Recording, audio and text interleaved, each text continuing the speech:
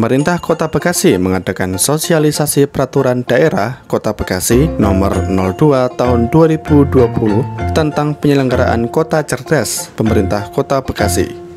Acara dilaksanakan melalui kepanitiaan yang dipimpin oleh Kasubkor Sistem Jaringan Dokumentasi dan Informasi Hukum bertempat di Aula Haji Nonon Sultani, Jalan Jenderal Ahmad Yani nomor 1, Kota Bekasi pada hari Selasa 22 Februari tahun 2022. Baik, terima kasih. Hari ini sudah alhamdulillah sudah terlaksana eh, sosialisasi penyelenggaraan Kota Cerdas di Kota Bekasi.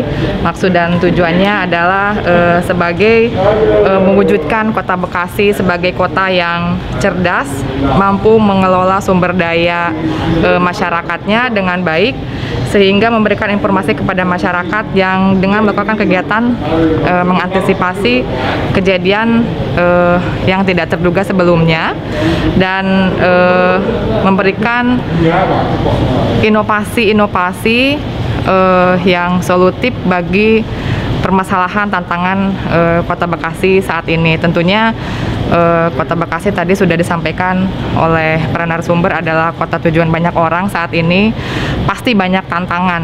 Nah, mungkin Kota Cerdas ini, konsep Kota Cerdas ini mampu menyelesaikan setiap persoalan dan tantangan yang terjadi. Mungkin begitu Pak. Tadi narasumber hari ini, Alhamdulillah eh, Pak Ketua DPRD Kota Bekasi, Bapak Khairomon J. Putro, menyampaikan narasumber pertama.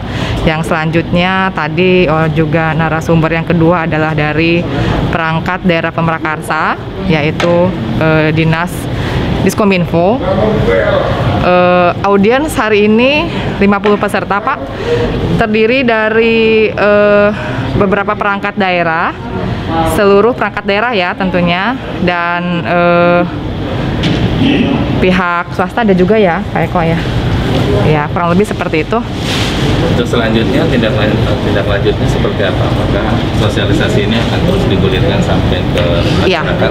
Iya. Dalam bentuk seperti apa? Ya, eh, memang baiknya eh, sosialisasi ini tidak selesai hanya sampai di sini kan karena kita tahu penyelenggaraan konsep kota cerdas ini eh, tentu harus implementasinya di masyarakat. Percuma kalau kita punya aplikasi bagus, konsep bagus, namun masyarakatnya tidak siap menghadapi itu. Jadi pastinya dan eh, ke depan kita akan terus sosialisasikan, kita sosialisasikan supaya eh, Kota Bekasi ini sesuai dengan harapan eh, memiliki eh, masyarakat yang cerdas tentunya itu harapannya. Pasti kita akan eh, teruskan sosialisasi ini ke masyarakat. Ya, dan siap bersinergi dengan Oh, siap. ya. Pasti siap harus. Kita harus komitmen. Eh, tadi sudah disampaikan di acara.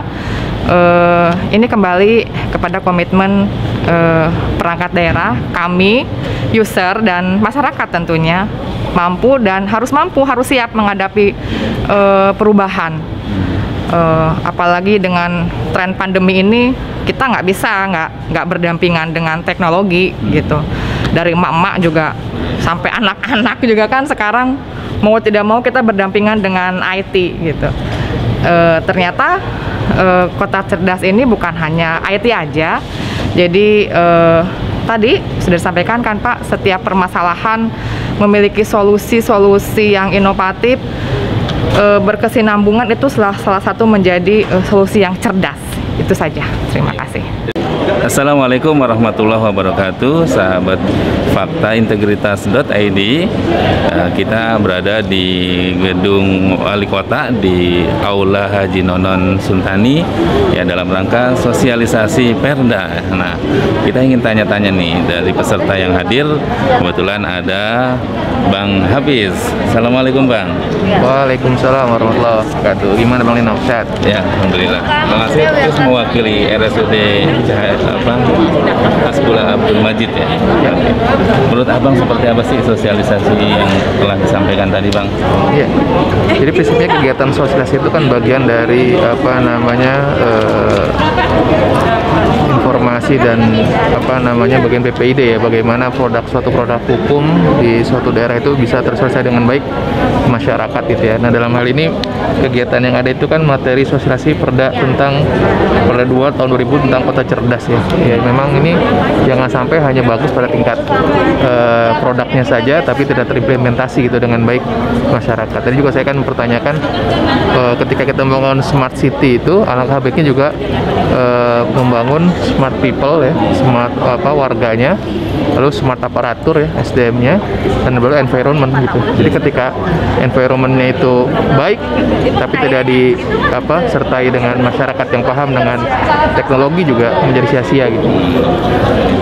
Artinya solusi ke depannya diharapkan terintegrasi semua Betul. baik. Bang. masyarakatnya, aparaturnya dan eh, lingkungannya gitu ya. Oke, baik Bang, terima kasih Bang. Sama Sekdis eh, Dishub yaitu Bapak Karya Sukmajaya.